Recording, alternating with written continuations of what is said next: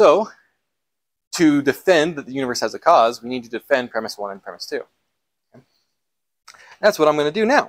I'm going to defend the premises. Premise 1 can be written another way that really showcases how strong the premise is and why it really needs no formal defense.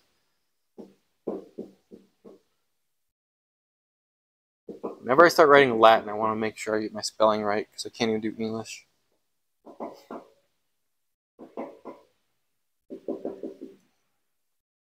Ex nihilo nihilo fit. That is the law that out of nothing, nothing comes. Anyone know of any counterexamples? I'm trying. Okay, so in the field of quantum mechanics, which most people doesn't know what what is it, zeros I would consider nothing, therefore, and also simultaneously ones. I don't know. so, I have in my notes here, ex nihilo nihilo fit.